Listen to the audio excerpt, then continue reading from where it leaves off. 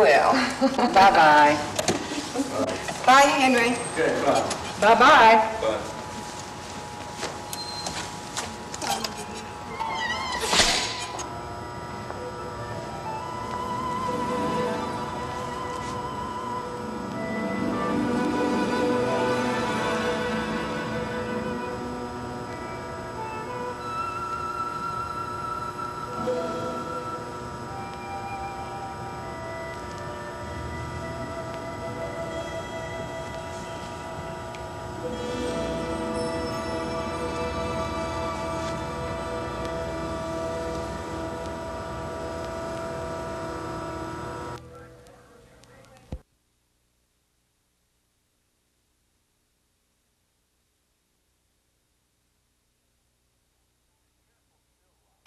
Careful still life, the luncheon on the table with its translucent glass, luxuriant fruits, and snowy linen, becomes the focal point for a group of relatively plain and ordinary people who are magically transformed by Renoir's glowing color.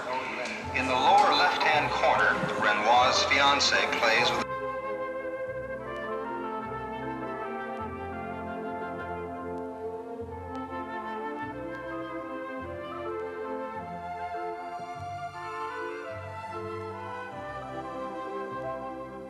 The Phillips Collection, a traveling collage of paintings that feature the world's masterpieces of Impressionism.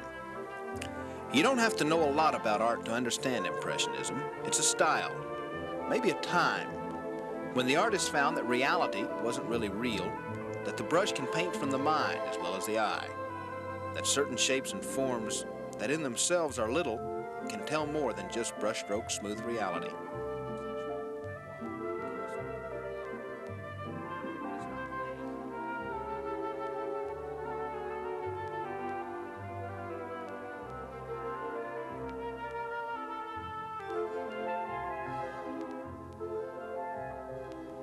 Artists are a who's who of art in the last century Renoir, Picasso, Degas. But it's not the names, it's the results, the shapes and images that they left on canvas that stay in the mind after you leave. At the Art Center at the fairgrounds. Just get a little bit closer to the people. Story of that's bring your own. Could I have your attention? Could I have your attention, please? Has everyone read the rules and procedures? If you haven't, don't panic. I'm going to read them right now, so don't worry about it. But I'm going to go over them real fast, so listen carefully. As you draw They are refugees from dining, kitchen, and card on the table. tables. They've taken a drawing room game and moved it to a hall. This is the Oklahoma City Scrabble Club.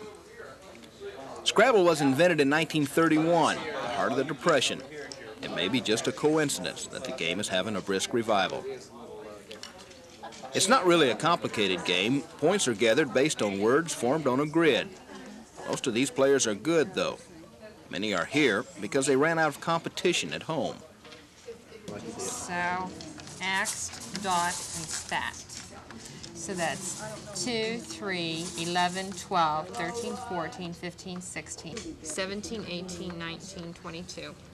I started asking around just people that I knew and asked them if they liked Scrabble, and I found so many people that liked it. I thought, well, why not? Let's try a club. That sounds like fun because so many Scrabble players are isolated and they don't have anybody to play with. A lot of these people here tonight have told me, I love to play, but I never can find anybody to play with. And I thought, well, a Scrabble club would take care of that. So M I R E.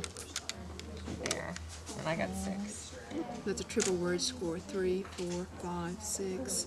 Six times three is 18. Triple is 24, 25, 26, 30, plus 50 for seven letters. That's 80. Back when my wife and I used to play this game at night to see who washed the dishes, I thought 14 points was a great score. That guy just got 80. That's out of my league. He'd never wash a dish in my house. But the club members say you don't have to be that good. Just loving the game is enough. Well, if your spouse isn't really good competition anymore, give Alex Corbett a call. He's got a game for you.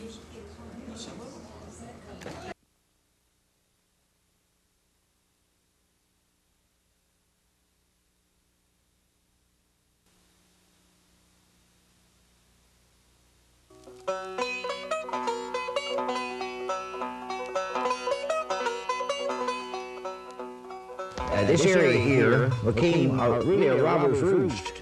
Belle Starr, Cole Younger, Jesse and Frank James, Blue Duck. This was one of their hangouts.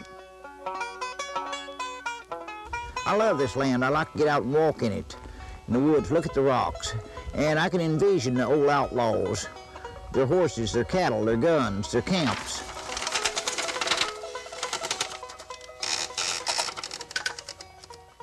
Stoney Hardcastle doesn't keep his visions to himself. What he sees, more importantly, what he feels about the country he grew up in is translated to paper, to print, and to books. Hardcastle may be the most prolific writer in the state. He's written 10 novels, hundreds of articles and newspaper stories. He writes about the West, the Old West of eastern and central Oklahoma. His heroes are touched with the kind of reality that keeps readers galloping from chapter to chapter. Great literature, Maybe, maybe not. But Stoney Hardcastle writes to be read and to make a living. The main problem that all beginning writers have is they all want to write the great American novel. They have it in their head. And uh, I, I tried one once, and I think every other writer has tried one. And mine's still laying gathering dust, and most of the other manuscripts with the great American novel. There have been a few people have ever succeeded in writing a Gone with the Wind. Hardcastle may be doing something better than writing the great American novel. Besides sharing his imagination and his stories with readers, he shares something that may be more important, his knowledge about his craft. He teaches commercial writing at Eastern Oklahoma State College, and what he teaches sells. In the past six years, 19 of his students have published novels. That may be a record. Stoney Hardcastle's heroes are horse leather tough from another century. But to many of his students, Hardcastle himself is the hero.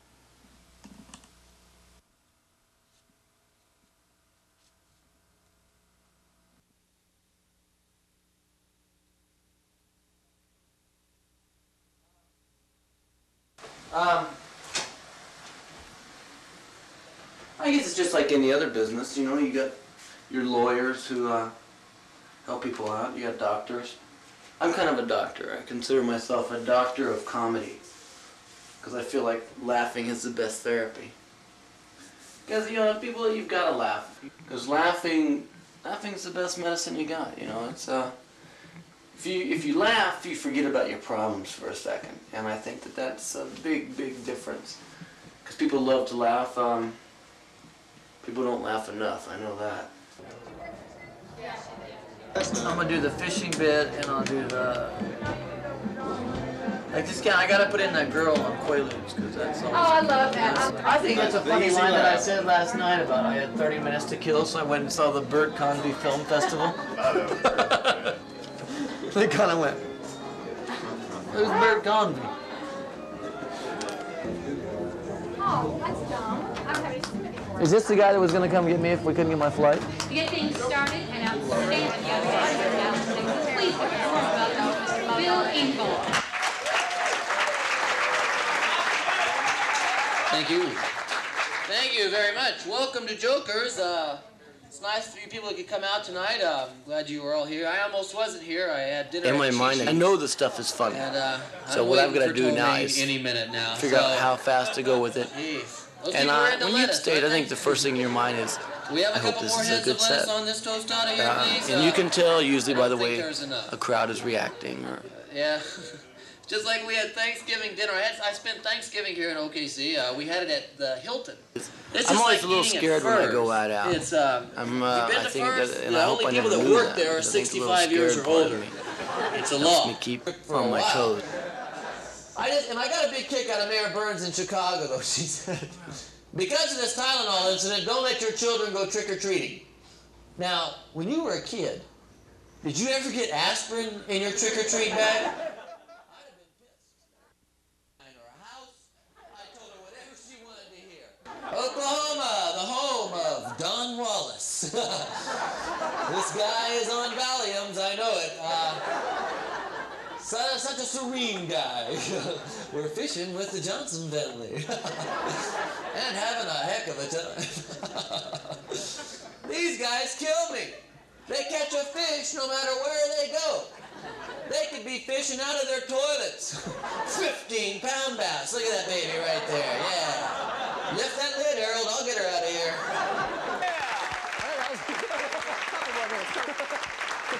Man, I catch algae. I'm thinking about having it mounted, all right? yeah, it's nice and green.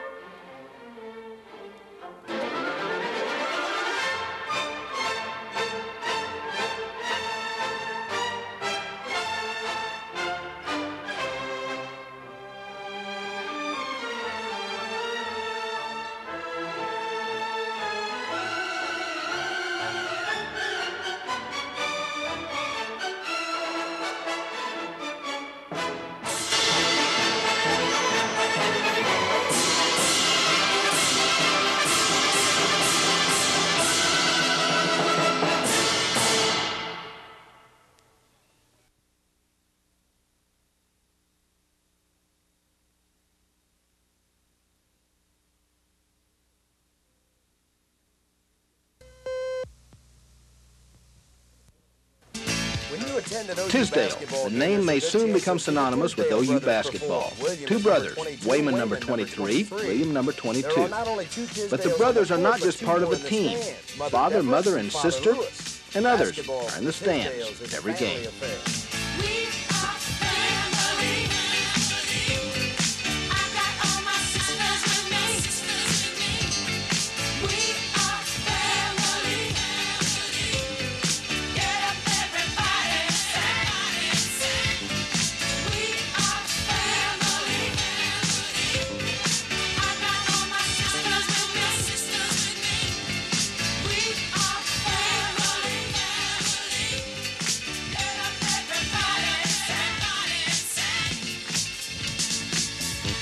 There are those who say that families are part of the past, that society is becoming fragmented.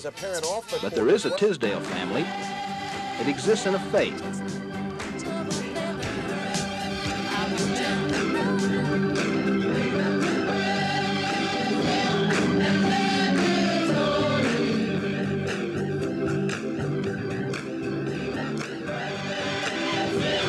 Wayman and William perform devotionals to the gospel beat of bass guitar and drum. Friendship Baptist in Tulsa is no church that goes off in.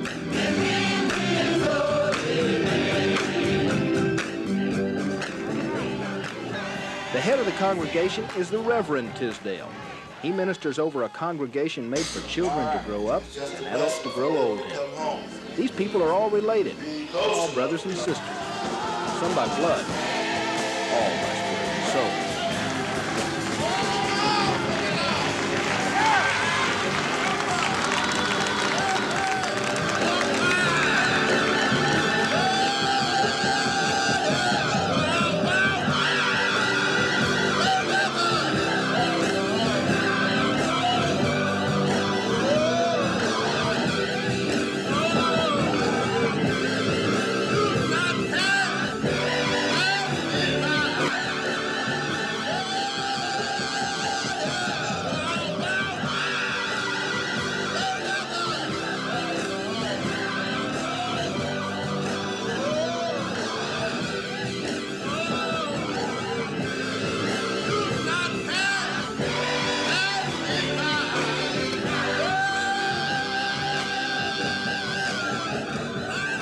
name of the church is Friendship Baptist, but they might add another word to that name.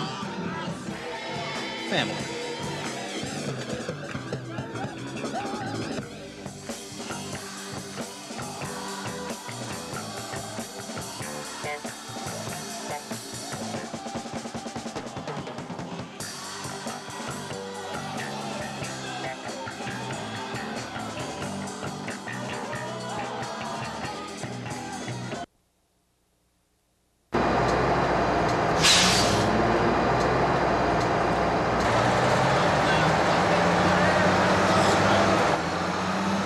Five a.m., two and a half hours before the sun, long before most people think about going to work. Bus 16 moves out early.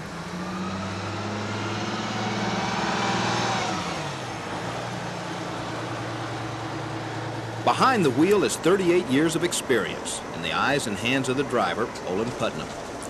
Putnam is one of a handful of men that drive the streets of this city with a time machine, a way of getting from here to there for people who don't believe that mass transit is just something that exists for people east of the Mississippi.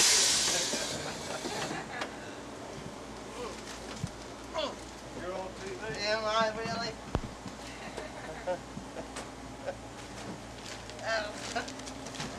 The first run is light, a handful of passengers. Most are regulars. Most know Olan, and knows them.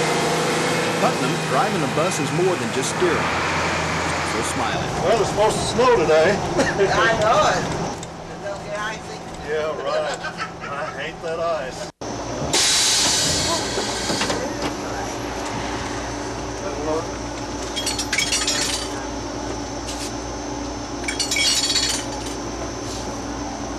Some passengers talk, some just ride. Back when Olan started driving a bus in 1943, the buses were full. Now they seldom are. But for the people who do ride, the transportation is just as necessary. Said we had a sixty percent chance. Olan's Rain job is essentially the same as it always has been. Get them there on time, get them there safely. Herding a dozen tons or more of crap 50 miles a day makes the last part tricky. He stays on time with the watch he earned the longest safety record in the city. About right on time. It's been 34 years since Putnam scraped a fender in a chargeable accident. The next time you see the gas needle droop on the family car, give some thought to 16. It's probably got an empty seat. Hop aboard.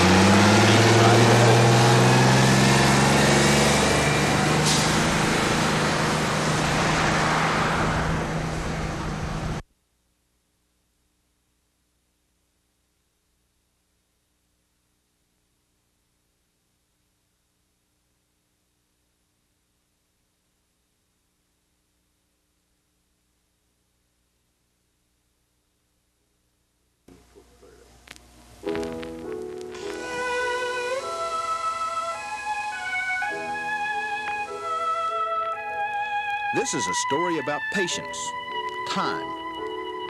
Time that's spent like wealth by someone who knows its worth and yet parts with each second freely, as if hours were pennies and dollars were nothing. Dr. Edwin Andrews is a shipbuilder. He's never sailed, but his heart and hands live in a time when the world moved on the wind. Why do I do this? The ships fascinate me. Everything that was on the ship had a very good reason for being there. There was nothing extra put on the ship. And finding out why all the devices were on the ship was fascinating. And it's interesting. And it's a love of history and enjoying working with your hands. The ships were different for different periods and modified over the years.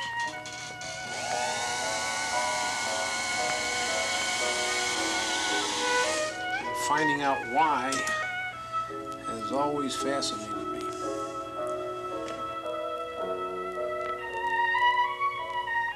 The pride of Andrews' craft is the Beagle, the ship Charles Darwin sailed to a new way of thinking about man and his world.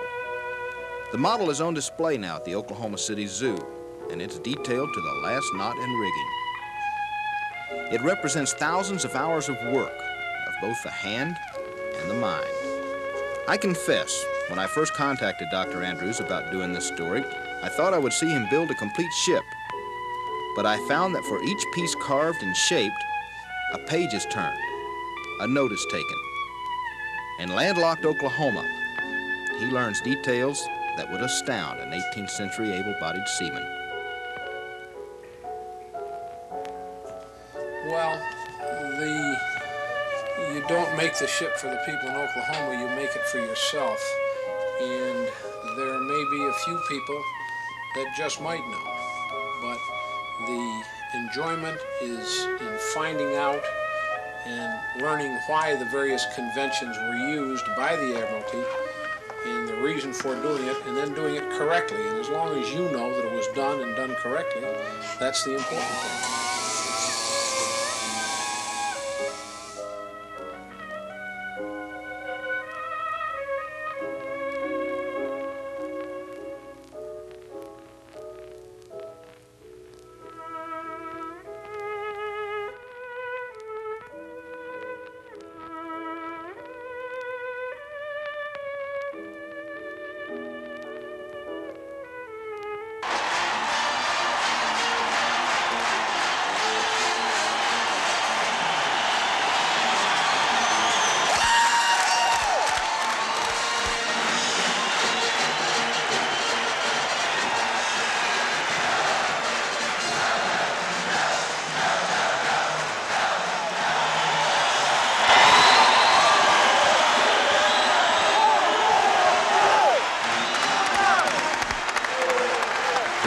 Been to an OU basketball game for a while, you'll find that something is happening in For example, you don't even have to watch the players.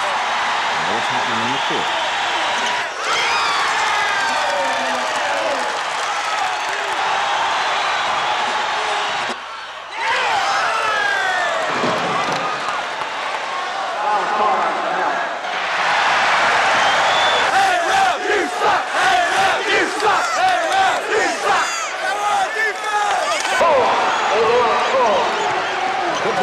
I don't know. Maybe it's Lloyd Noble Arena. Then again, maybe the players are just better than they used to be. It could be the pom-pom boys. They can build enthusiasm and. They added a new mascot, Top Dog.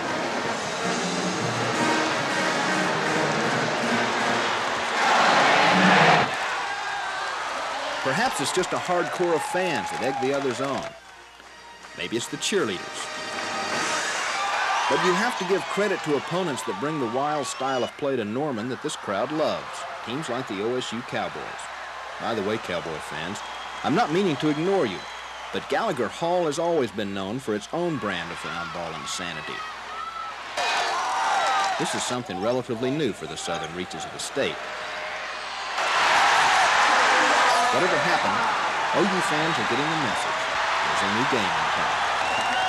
And the ball doesn't have 20 rings.